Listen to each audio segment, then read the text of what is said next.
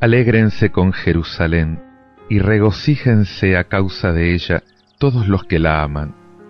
Compartan su mismo gozo los que estaban de duelo por ella, para ser amamantados y saciarse en sus pechos consoladores, para gustar las delicias de sus senos gloriosos.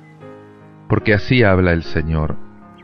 Yo haré correr hacia ella la prosperidad como un río y la riqueza de las naciones como un torrente que se desborda. Sus niños de pecho serán llevados en brazos y acariciados sobre las rodillas. Como un hombre es consolado por su madre, así yo los consolaré a ustedes, y ustedes serán consolados en Jerusalén. Al ver esto se llenarán de gozo, y sus huesos florecerán como la hierba. La mano del Señor se manifestará a sus servidores y a sus enemigos su indignación. Aclamen al Señor, tierra entera. Aclamen al Señor, tierra entera. Toquen en honor de su nombre canten himnos a su gloria, digan a Dios qué terribles son tus obras, aclamen al Señor, tierra entera. Que se postre ante ti la tierra entera, que toquen en tu honor que toquen para tu nombre. Vengan a ver las obras de Dios, sus terribles proezas en favor de los hombres. Aclamen al Señor, tierra entera. Transformó el mar en tierra firme a pie atravesaron el río. Alegrémonos con Dios, que con su poder gobierna eternamente. Aclamen al Señor,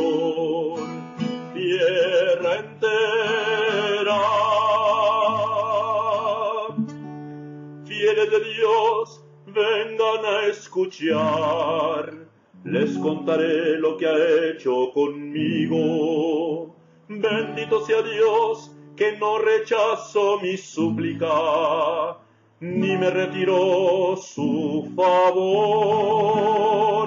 Aclamen al Señor,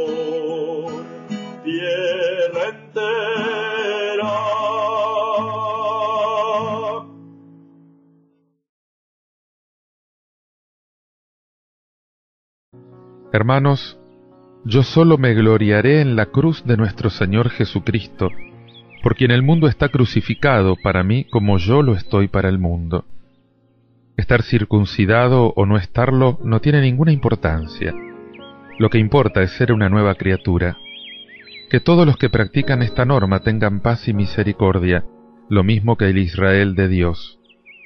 Que nadie me moleste en adelante, yo llevo en mi cuerpo las cicatrices de Jesús. Hermanos, que la gracia de nuestro Señor Jesucristo permanezca con ustedes. Amén.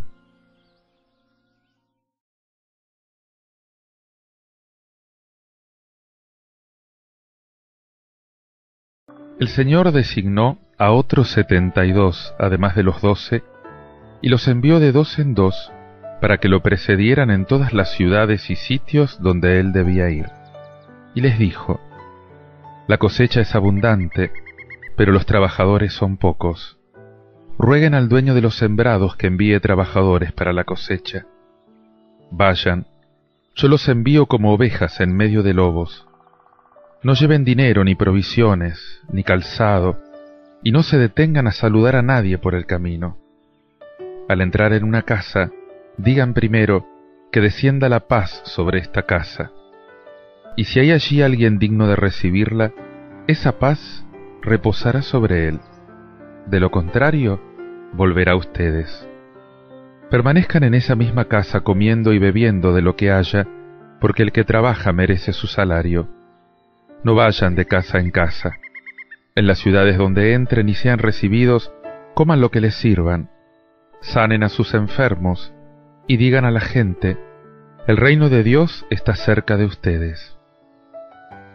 Pero en todas las ciudades donde entren y no los reciban, salgan a las plazas y digan, hasta el polvo de esta ciudad que se ha adherido a nuestros pies, lo sacudimos sobre ustedes.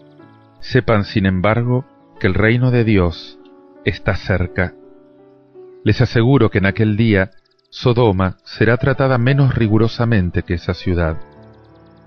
Los setenta y dos volvieron y le dijeron llenos de gozo, Señor, hasta los demonios se nos someten en tu nombre. Y él les dijo, Yo veía a Satanás caer del cielo como un rayo.